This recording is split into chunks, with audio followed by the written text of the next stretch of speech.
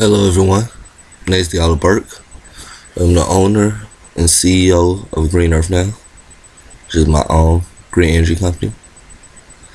Today, I would like to talk to you about overcoming the Iron Dome missile defense part 3. But before I talk about any of that, I would like to explain my intentions and what I truly want.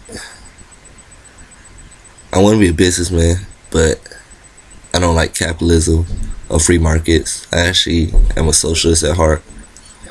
So if I were actually become rich, I'll be a philanthropist and actually give away most of my money. I actually wouldn't charge much for my products because I don't believe in the concept of money.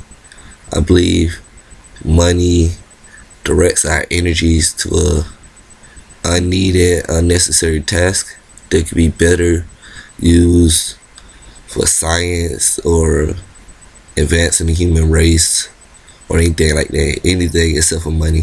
Think money is evil and pointless and a distracting factor for humans and our race, our people. So today I would like to talk about overcoming the Iron Dome missile defense. So, some people like to put their Iron Dome missile defense in underground bunkers and behind like buildings and walls and all that.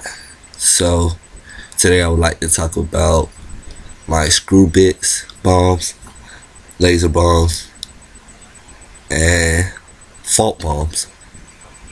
Okay.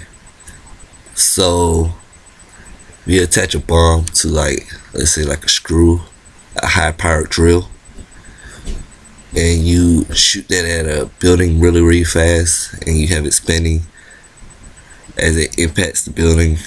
The velocity everything will help carry it through and help get a little foothold in the building. So hopefully it'll be able to drill through wherever you want. Also have a high powered laser at the end of the tip of the missile or the bunker bomb or the whatever missile you want to shoot at the Iron Dome missile defense system, stealth bomb, whatever you want.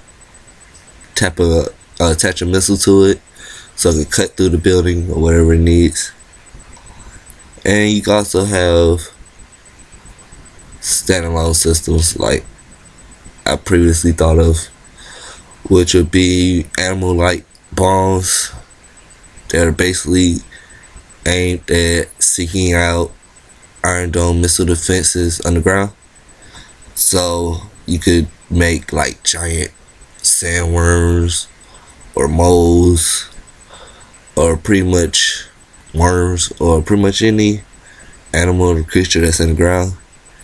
Attach a bomb to it add sensors to it, and assigning the target. It's pretty genius. Pretty great.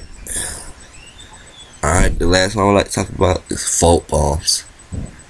Came up with this while watching Oblivion and just thinking like what would be the ultimate like natural weapon that would be hard to detect who sent it off so I said,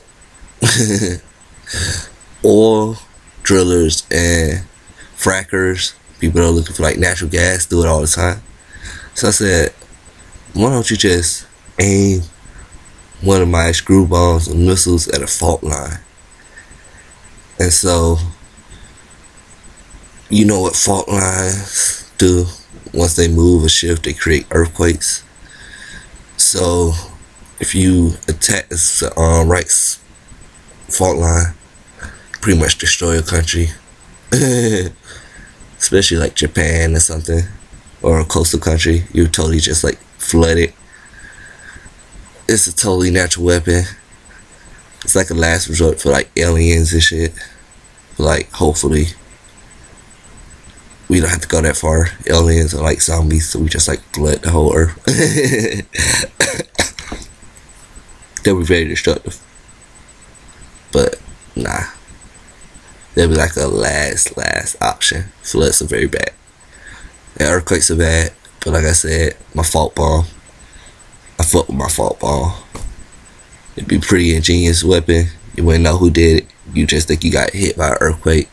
But really, it was man made.